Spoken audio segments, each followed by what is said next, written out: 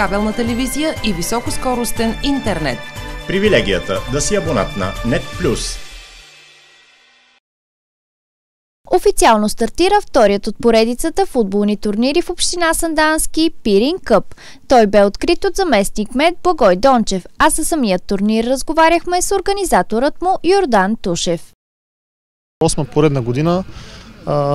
Тази година отново така, дори в пандемия събрахме общо, общо в двата етапа около между 120 и 125 отбора. Не мога да кажа точно, защото с нощи в навечерието на а, турнира един отбор даде положителна проба а, за коронавирус и, се, и следователно не дойде, преработахме програмата. Затова казвам, че около между 120 и 125 отбора ще има на, на, на, в турнира. Освен момчетата, които, а, от, които от години нали, така, участват в този турнир, тази година ще има и участие на женски отбори. Колко ще бъдат те? Да, за втора поредна година, миналата година също имахме, за втора поредна година ще имаме девойки до 13 годишна възраст. Те ще бъдат тук между 6 и 8 отбора според зависи нали, с новия формат на футболния съюз, който е 7 плюс 1. Така че нали, имахме доста желаящи. Въпросът е, че в последните така, месеци, а, може би заради пандемия, може би заради други обстоятелства, така леко се поразколебаха. Говорим за момичета, за момчета там си, е, те са си твърди. Има ли международно участие? Да, виждате и Варда Скопие са тук, колеги от Македония дойдоха, колеги за първа година ще дойдат и от Черна гора. А, така в Гърция са малко по-затегнати нещата а, от мерките, така че а, оттам тази година няма да имаме. А, така, но надяваме се до година, до година надяваме се вече всичко да се да е по-добро, да е по-спокойно за всички, да се работи малко по-добре.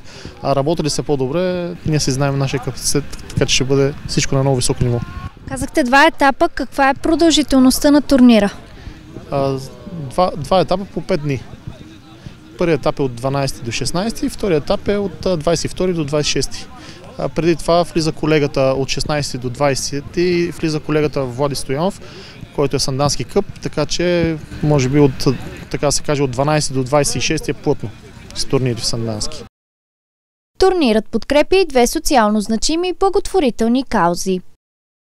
Първата инициатива, която е, това го обявихме още преди няколко месеца, всичките такси и участия, които са, ще бъдат дарени на семейството на нашия колега, който почина така, в един нелеп инцидент от мълния на стадиона. Иван Ранчев от треньора на Хебър Пазажик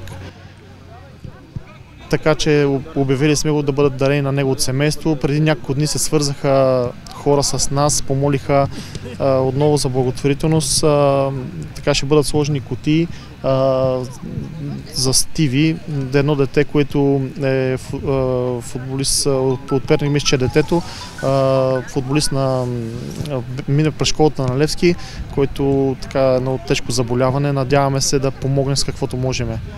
Но мисля, че така всички, ако се обединим, мисля, че всичко ще бъде наред. Този турнир се организира от футболен клуб Спорт Вилаш със съдействието на Община Сандански и е част от календара на Българският футболен съюз. Кабелна телевизия и високоскоростен интернет. Привилегията да си абонат на NET+.